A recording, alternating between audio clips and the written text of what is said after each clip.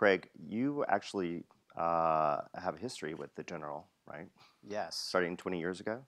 20 years ago, when I was a cadet at West Point, I was assigned to his unit as a lowly intern. And we both participated in a 2,000 person airborne drop over Fort Benning, Georgia, with the uh, uh, 75th Ranger Regiment.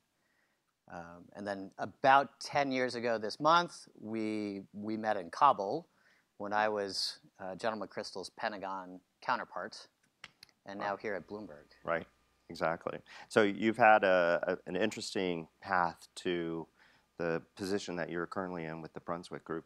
Um, as you just mentioned, you were in the Army, you were a Ranger, decorated combat veteran. Um, you served in the Obama administration, then at Facebook for five years, and now here at Brunswick. So, what is Brunswick and what, what are you doing there? Uh, Brunswick's a, a, global firm with uh, 23 offices serving clients in 50 countries. And we advise C suites on critical issues uh, at the intersection of politics, finance, and society. And I sit within our digital practice and advise leaders on um, digital media and how they can advance their leadership uh, in a new domain. Right. So that's um, that leads us, of course, to why you're here today. Uh, Brunswick and you launched uh, uh in the last few days a, a research project, research-based project, looking at CEOs and uh, their use of social media, digital media, their digital presence, and um, and drew some, I think, interesting findings about uh, what employees expect, what shareholders expect from uh, leaders in terms of the digital communication. And so I, I, wanted to talk first about why you did this study and explain how what the study actually is and how large it is.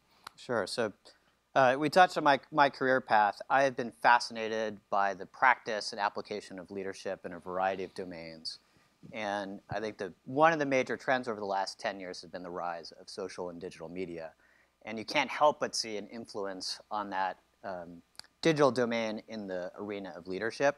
So we, we set out to explore how is leadership being redefined in a connected, in a connected world. Uh, and we came at it uh, with sort of two major directions. The first is we went and we asked a variety of audiences what they expected from leaders. Uh, we asked employees, we asked financial readers, and we asked investors. Um, and then we looked at the supply side of that equation to see what's the behavior of leaders in the S&P 500 and the top 350 companies in the FTSE. How are they showing up on digital media? And are they meeting the expectations of these audiences? Right. So let, us uh, talk about some of what you found. And I think you have a slide here. One second. Ah, great. Um, so across the top, this is sort of what we learned from audiences. Uh, this was the first was really surprising to us. Um, an almost 21 point jump in one year of investors, uh, institutional investors using digital and social media to follow CEOs. Um, the second is we looked at active financial readers. And you define financial readers as, as what? Uh, in the last two weeks, had they read uh, consumed information from a defined set of financial publications like Bloomberg or the Wall Street Journal. Um, and there, the finding was even stronger in terms of their expectations from CEO communications on social media, particularly in a crisis. Um, I think that has a lot to do with the speed and scale and also the signal of accountability that a social media post from a CEO in that situation indicates. Um, and then in the talent equation, which I know we'll talk about later as a group, uh, this was a stark finding that by a more than two to one ratio, employees prefer to work for a CEO who's active on digital and social media. Uh, so it's surprising that while customers and competitors and investors, employees have all moved online, for the most part, Fortune 500, S&P 500 CEOs are still catching up.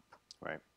Um, I think that might be a good time to ask the folks here in this room, those of you who are leaders, not just CEOs, but um, COOs, CFOs, et cetera, how many of you, uh, uh, just raise your hand, are active on social media? Okay, keep those hands up. How many of you have used social media in the last two weeks? Okay, so pretty good. Yeah. So, So this actually, you crowd is actually- overrepresent. Right. They they've already bought in, right? so why is it then that only 29% of the S&P 500 CEOs are active? What what explains that? Two factors, uh, in my view. The first is they're not convinced yet of the business value and the ROI. Uh, and I think second, maybe more importantly, is lack of confidence and comfort. Right. Um, for a generation of leaders who aren't digital natives, didn't grow up using social media, uh, it seems quite unknown, unfamiliar, and a place where it's easy to make a mistake that has uh, a large audience Right. uh, to view it. So Carol raised uh, the example of Elon Musk. You know, I think probably other than his wealth, I think no CEO wants to be like Elon Musk on social media, right? Because that will just get you in trouble um, with regulators, your investors. Um, so we'll, So talk. I think he gets a lot of things right. right. Um, it's highly authentic. It is He's, that he's consistent. Um, consistently in, right. uses a lot of great visuals to make his point. Right. Um, but you need guardrails. Any communication, whether it's a digital media or traditional media, um, you need a team behind you. Uh, you need a strategy. Um, and so, with some improvement, you could be even more effective for the company's purposes. So let's show them um, part of the end result of, of your work, which is a ranking of 100 of the uh, top CEOs on, in, in terms of their use of social media. Right. Yes, we collected 100,000 data points on 790 CEOs, um, and then built a, a scoring algorithm uh, to rank the top one, the top 100. And you all, uh, we sent you, I believe, by email a, a copy of, of the uh, study and the survey, and you also have it in, in your uh, gift bags. So we'll uh, sort of scrolling down a bit from the from the site brunswickgroup.com/slash connected leadership.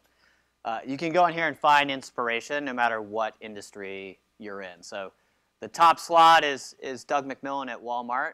So if you zoom in, you can um, find basic information about his company, his score, uh, some basic analysis from Brunswick, all of his official accounts, And you're saying, so Doug McMillon is the number one what? connected leader. Okay. So it's not popularity. He doesn't have the most followers on social media. But when you really dig into the engagement and the quality of the response from his audience, uh, that's one of the things that really stands out with Doug. Okay, so let's dig a little bit more into that and look at what is it that these top leaders are doing? What what constitutes good social media policy at this level of CEO? Among the top 50, uh, we compared them to the rest of the set. They post on average twice as much as other CEOs. Uh, about 98% of their posts have a visual. That was clearly they uh, they understand the emotional connection you can drive with a visual and its ability to cut across language barriers. Um, and the content comes across as much more personal and authentic. Um, so I thought we'd zoom in on on Doug um, to get a sense of how he does this. And you don't start off at number one. His journey has been a four-year journey. About this time, four years ago, he started with a very humble, out-of-focus photo on Instagram. a year later, launched on on Facebook, um, and then has subsequently added LinkedIn uh, to his franchise. Um, one, one of the things I thought was most powerful when, when we shared this finding with Walmart, they came back to us with quotes from associates about what this meant to them and how inspiring and motivating it was as an associate to hear directly from the CEO, uh, which supports one of the findings of the survey. Uh, after pay and benefits, the next most powerful indicator of retention at a company is direct and transparent leadership uh, direct and transparent leadership. After paying benefits. After pay and benefits, well Right. ahead of their connection to a larger mission for the company, the length of their commute. We asked about 20 different factors, and that was that was number three after pay and benefits. Right. Okay. So I I had the pleasure of going to uh, Arkansas to see w- Walmart's annual shareholder meeting in 2016. where they did something novel with Facebook Live. Uh, their shareholders are a little bit different than other shareholder meetings. They bring in 15,000 employees from the Walmart universe around the world. Uh, it's a bit of a pep rally. They have the foam number one fingers. Katy Perry performed. James Corden was the MC. And Doug gives a state of the company address. Um, in the past, if they wanted to reach and connect with all their employees, they'd have to share that video through an intranet to an employee base that mostly don't have emails. With Facebook, they were able to invite all 2.3 million Walmart employees to watch in real time. And this is what it looks like. I want to say hello to every Walmart associate that's joining from around the world. I want to tell you we're here in Fayetteville, Arkansas at our shareholders meeting, and we wish that you were all here with us, but we're glad that you've joined virtual, virtually. I've got some of your fellow associates here that want to say hello. Turn that camera towards them.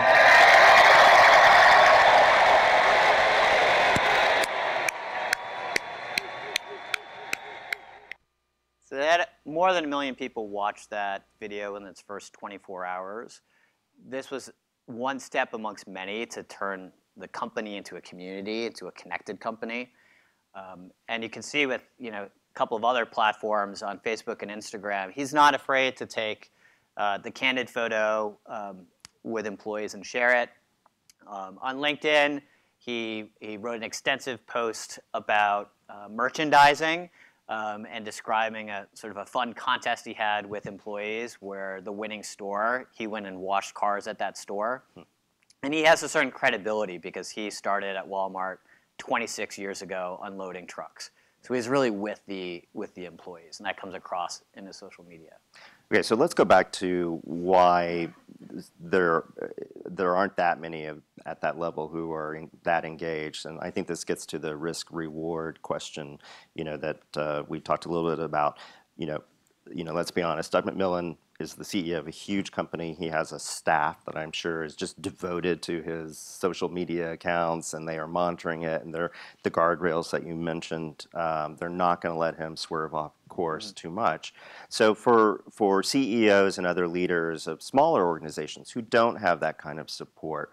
How are they to make the decision about what to post, what not to post, how engaged to be, if they don't feel they have those guardrails put in place?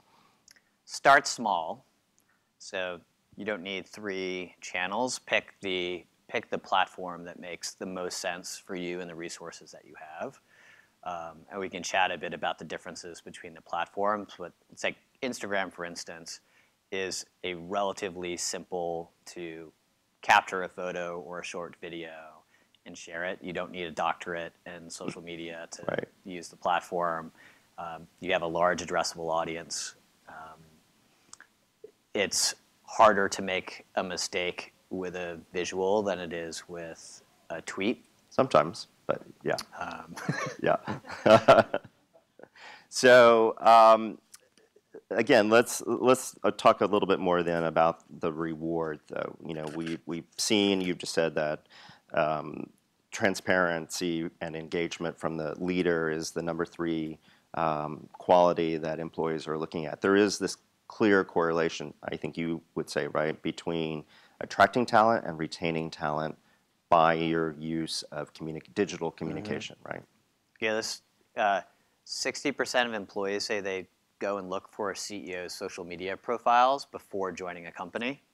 Huh. Um, that that surprised us. Quite savvy in their sort of research of an organization. Right. Um, I think this is part of what it means to lead at scale today. So in a world where, say, your organization was the size of this room, um, we can have individual con- conversations. At under 200 people, you can know everyone's name in the in the organization. When you're operating at a scale of thousands or tens of thousands of employees, no CEO or leader can have that sort of face-to-face interaction and engagement. Um, and so you need other tools that allow you to scale your presence and your um, allow the broader organization to buy into uh, the mission and the purpose that you articulate uniquely as a CEO, as the chief storyteller and the chief purpose officer of the company. The other thing that I think is important um, is you and I have talked about this is this isn't about popularity, right? You're you don't have to be a Kardashian, right, to be an effective social media leader. In fact, that's not the goal, right? Um, how how does- should they think about that uh, that It's, equation? it's an easy vanity metric to follow, um, the number of followers that you have, but it's largely irrelevant if you haven't, if you're not connecting with the right audience. Uh, so when we're working with clients, it's, there's a careful and important first step of articulating, um, you know, what is your message, what do you represent, and who do you want to speak with, and then constructing the, the channels and the engagement strat- strategy around those audiences. So if you have, you may have only have 500 followers, but those could be investors or If let's say you're a defense manufacturer and you your sort of your sales universe are 300 defense buyers globally. If you have 200, if you're connected with 200 of them on LinkedIn and they are following your thought leadership, that's far more effective for you than for having 10,000 followers that don't map to your business needs. So always start with the business strategy first. And you mentioned this about Elon Musk, but consistency. Why is that important? Um, it, you don't have to post daily or 10 times a day. Nobody's expecting a CEO to match the sort of the president's tempo, uh, nor should they aspire to that. Um, but pick a cadence that you can stick with consistently because there are expectations from those who are following you to hear from you on a, on a regular basis. Um, the biggest risk is sort of launching a profile um, sort of investing very heavily and posting daily for a month and then disappearing. Right. Then a crisis happens with your company, and you're trying to reestablish yourself to that audience. It, it's not going to come across as an authentic communication. In the midst of a, of a, a crisis, even potentially an existential crisis to the future of your company, um, I think some CEOs may think, oh, you know, social media, too risky. I just I need to buckle down and work my way through this this problem. Is that the right response? Well, of course you need to work through the problem, and you need to communicate with your own, you know, your own team inside the organization, and you're going to have outside stakeholders. In a crisis, it, that can be the most difficult time for the media to tell your story. Uh, so if someone else won't tell your story, you should. You have an exceptional amount of control and precision in your targeting with social media, so it absolutely needs to be a part of every company's toolkit um, every company has a social media channel, more more or less, for the company. In those sorts of situations, you want to hear directly from a leader, taking accountability and and describing what the path forward is going to be. It is far more powerful, and we see much stronger engagement when a CEO is making that communication on a channel that they own versus a corporate channel. Right. You said something backstage to me that I thought was interesting, which is that this is uh, about being a modern CEO, not about modern communications. What do you mean by that? communications is a is a part of leadership, um, and certainly leadership at at scale. Um, I think it's when we're talking about sort of social CEOs, it's often mistaken like this is about profile raising, about visibility, about popularity. It, it's not about those things. This is a part of your this is a part of your le- leadership toolkit. Um, I learned two things in the Army from great leaders like General McChrystal. You need to set the example as a leader, and you need to authentically connect with the people inside and outside your organization. Doing that today, part of that leadership solution and setting a very visible and personal example is using modern platforms. Right. I should also mention Craig is also a best-selling New York Times best-selling author for his book uh, of his experience in the military called The Unforgiving Minute, uh, which I recommend that you read um, because it does fuse your sort of insights into what you learned in the military with the real world. Uh, so um, you're going to be around. You'll be here at lunch as well. Yes. So if people have questions, uh, feel free to to seek him out. And thank you very much, Craig. Thank you, Mark.